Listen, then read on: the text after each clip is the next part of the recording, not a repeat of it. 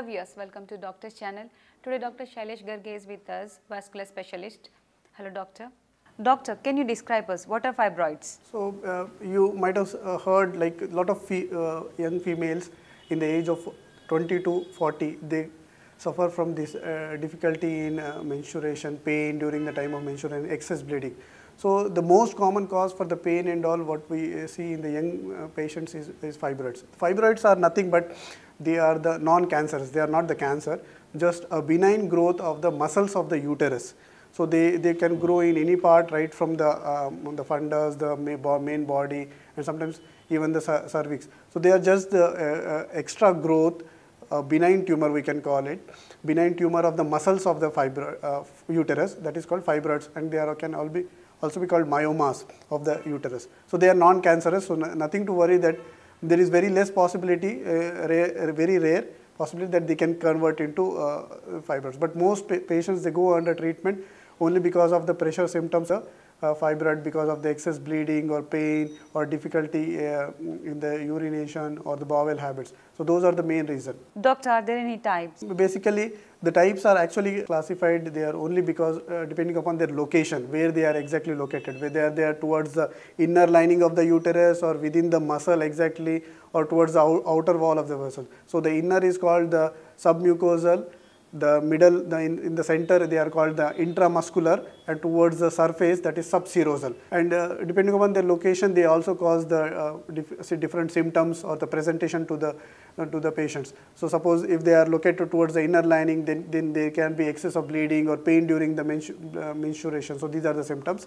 If they are intramuscular, then again the pain and excess of bleeding because of the improper contractility of the uterus during the time of menses. And if they are subserosal, I mean towards the surface, they can um, can cause more of the pressure symptoms. Means they, they might be pressing the your the urinary bladder that uh, as well uh, or the rectum. So they can have the problem with the with the difficulty in the urination or excess of urination, or they, the patient won't be able to pass the urine properly, or uh, with the motions.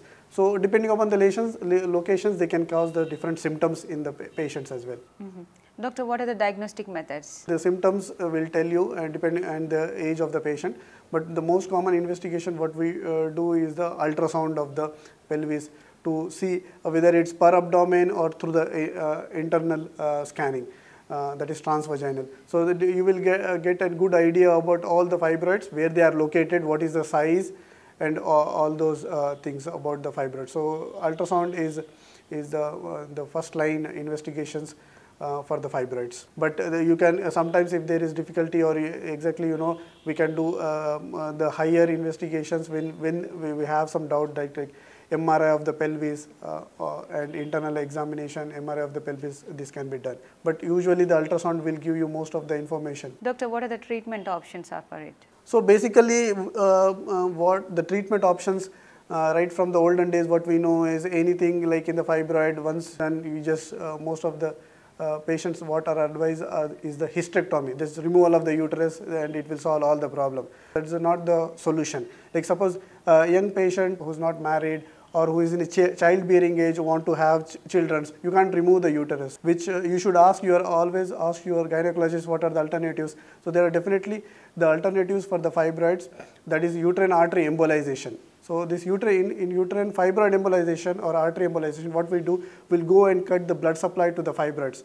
So you are you are only uh, tackling the fibroids. You are not removing the uterus he- here, and it's a very uh, simple, safe, effective procedure. It's a daycare procedure where you can go uh, through uh, through a tiny opening in the groin and go to the uh, blood supply, the artery which is supplying the fibroids, and block that artery. So you are cutting off the blood supply to the fibroid. So that that way the fibroid will die and slowly shrink in size and you are in that way you are ta- tackling the fibroid not removing the uterus so you can preserve the uterus so any patient they just anyone who don't want to remove the uh, normal uterus or normal organ uh, when there is only problem at the localized that is fibroids. Don't want to remove the whole fibroid just uh, whole whole uterus just because of the fibroids. So this option is very effective and um, this treatment we are doing and it is one of the frontline treatment in the uh, US so, uh, but the awareness about the uterine fibroid embolization in the Indian population is very less because of the unavailability of uh, the such doctors also performing this uh, uterine fibroid.